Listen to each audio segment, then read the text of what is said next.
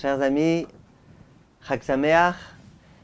j'aimerais passer en revue avec vous un certain nombre de halachot qui concernent le premier soir de Sukkot. Vous savez que durant toute la fête de Sukkot, il y a une mitzvah qui consiste à s'asseoir dans la soukha. Chaque instant où on s'assoit dans la soukha, on accomplit une mitzvah minatora. Basekot teshvu shivat yamim, pendant sept jours, vous installerez dans une soukha. Simplement, il y a une différence entre le premier soir et les autres soirs. La différence est la suivante. Les autres soirs, les autres jours de Sukkot, imaginez qu'une personne me dise Écoute, moi je ne vais pas manger de pain. Moi je vais manger uniquement des fruits et des légumes, etc. Est-ce que je suis obligé d'être dans la soukha pour ce faire? Je veux dire, tu n'es pas obligé. Dormir, c'est un problème, dormir en dehors d'une soukha. À moins que vraiment on n'ait aucune possibilité d'avoir une soukha.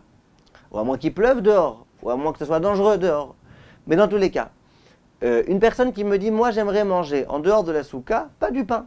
Ou du pain, mais moins qu'un kabetza. Qu'est-ce que je dirais à cette personne-là? Je lui dirais, il ben, n'y a pas de problème. Tu veux manger en dehors Tu peux manger en dehors de la souka.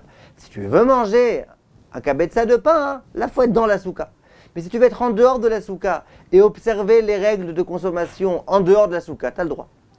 Alors que le premier soir, on est tenu de manger dans la souka. On ne peut pas ne pas manger. Et la Gemara apprend d'une euh, analogie qui a été faite entre la fête de Pessah et la fête de Sukkot que de la même façon que le premier soir de Pessah, tu es obligé de manger de la matzah.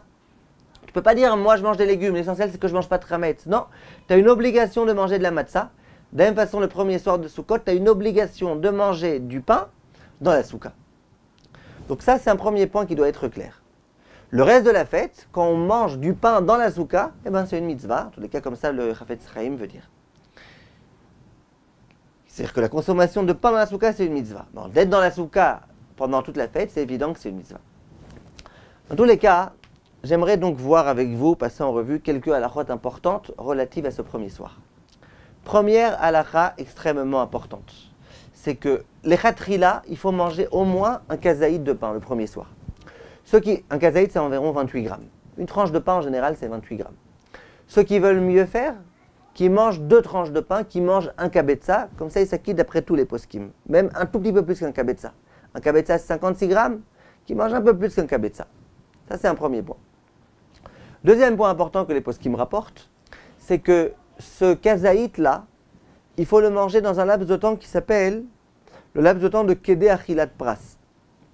Ce laps de temps, c'est le marloquette à poskim, mais disons qu'il euh, faut essayer de s'efforcer à le manger en 4 minutes. Pas énorme, franchement, de manger 30 grammes en 4 minutes. Essayons en 4 minutes, 5 minutes, de manger le kazaït. Si on mange un kabetza, d'après beaucoup de poskim, on a déjà plus de temps, on a déjà 8 minutes. D'accord? Deuxième point important, c'est que ce kazaït, ce kabetza là, c'est bien d'essayer a priori de s'efforcer de le manger tout seul. Un peu comme la matzah le soir du Pessah. Faut pas commencer à tremper dans de la tchoukshuka et compagnie. On la mange toute seule. De la même façon, ce kazaït là, ou ce kabetza de pain, c'est bien d'essayer de le manger à ce moment-là. Il faut attendre qu'il fasse nuit pour s'acquitter de la mitzvah de la souka. Donc bien qu'en général le vendredi on peut prendre Shabbat plus tôt, etc. la consommation dans la souka, faut que ce soit quand il fait déjà nuit. Et c'est extrêmement important. Maintenant, il y a une question qui se pose quelquefois. Imaginez qu'il pleuve. J'aimerais bien manger dans la souka, mais il pleut. Alors là, la c'est que d'une façon générale, quand il pleut, on est dispensé de la souka.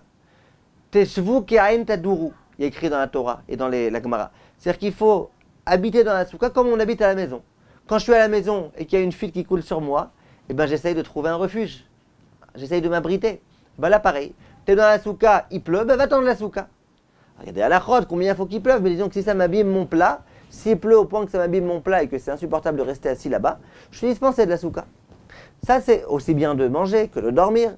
Ça, c'est la halacha durant toute la fête, en dehors du premier soir où, comme on a dit, il y a une mitzvah.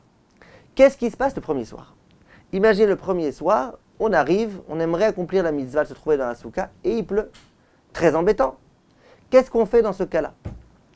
Alors là, on a une marloquette Rishonim.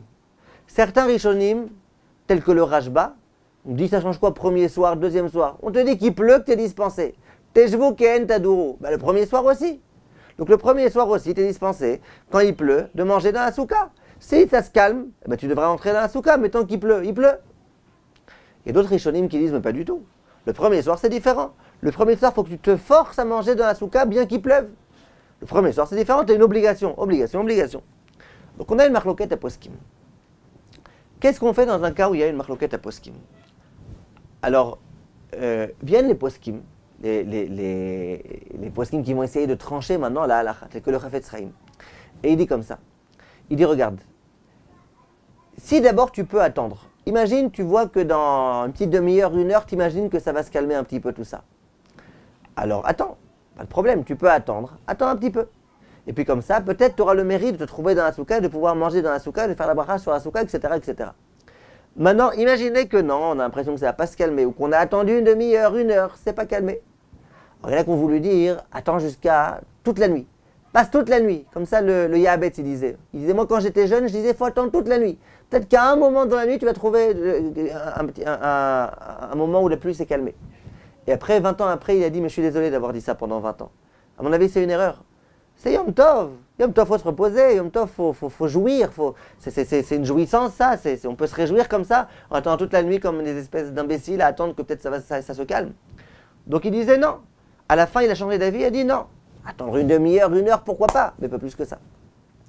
Donc si on sent qu'en attendant un petit peu, ça va se calmer, qu'on le fasse.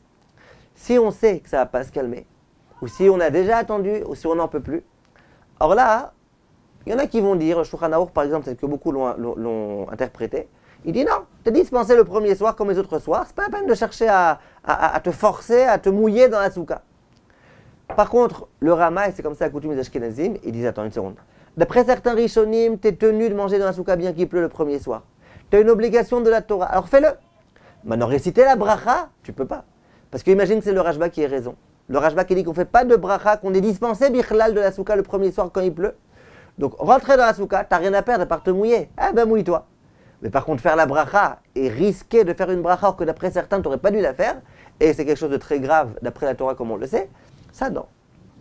Donc c'est comme ça la halacha. La halacha, c'est que ceux qui veulent faire le mieux possible quand il pleut, qui on espère qu'il pleuvra pas, mais en tout cas, c'est d'essayer de rentrer dans la souka le minimum, manger, faire le kidouche, manger le, le si on peut, au moins un kazaïd, et puis après sortir. Mais on ne fera pas la bracha de l'échef Basuka dans ce cas-là. Voilà, Koltou, mes chers amis, à bientôt, et Chag et merci de votre attention. À bientôt.